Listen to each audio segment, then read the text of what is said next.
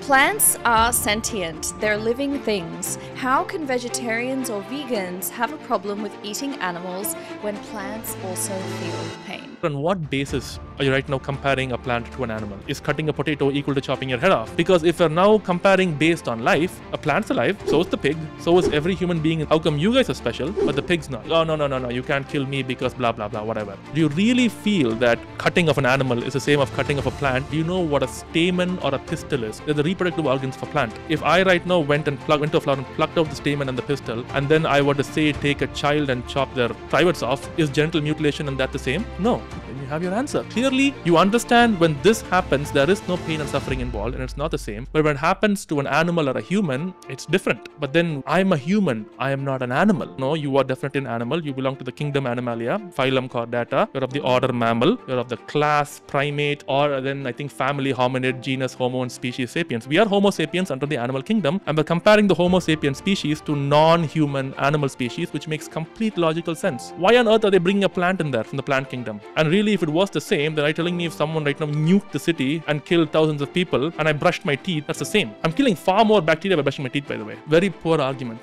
But people love to hide behind it again because there is no consequence for it. So